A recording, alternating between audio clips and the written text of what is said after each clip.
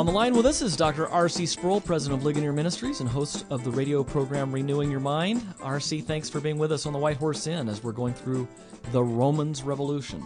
Well, it's a wonderful thing to be a palomino in the, among all these white horses. I always get a big charge out of being with you guys on the on the inn. RC, we're currently in chapter 10 and we've arrived at Paul's warning about having zeal without knowledge.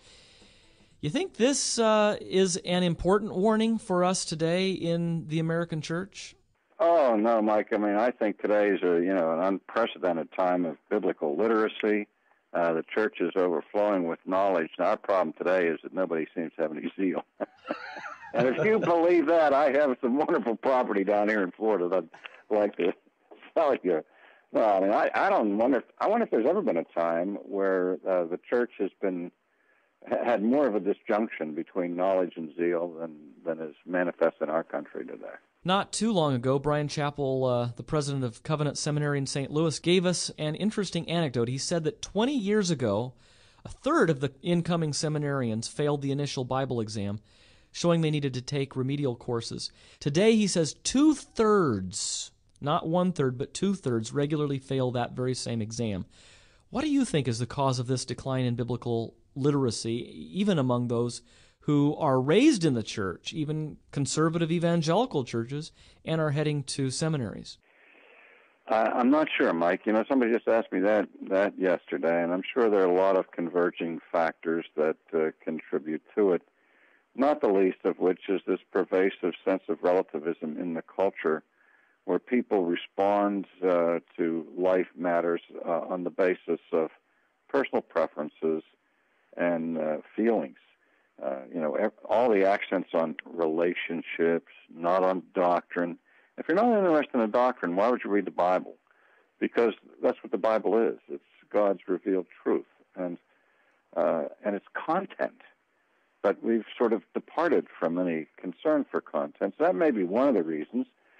Uh, a second reason is uh, going back to uh, the statistics that you just mentioned a moment ago about the uh, men entering seminary in a state of biblical illiteracy, and the seminaries haven't done a whole lot to correct that problem.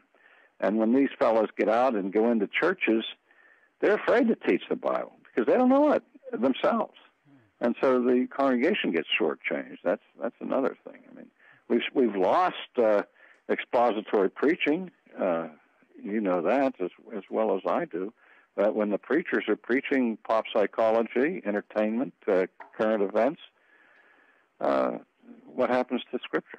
Is Paul saying that uh, we should pit zeal against knowledge? That we should pick the head over the heart? No, absolutely not. It's, it's that our zeal should be according to knowledge. Uh, I mean, we, God made us with uh, minds. He also made us with hearts.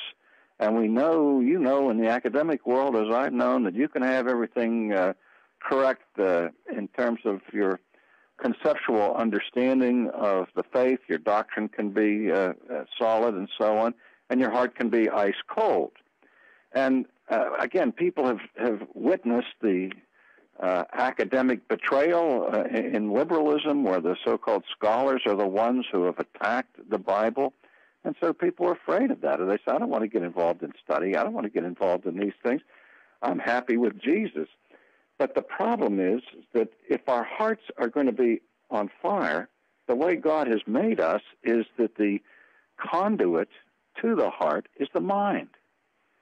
Mindless zeal has no uh, virtue to it whatsoever.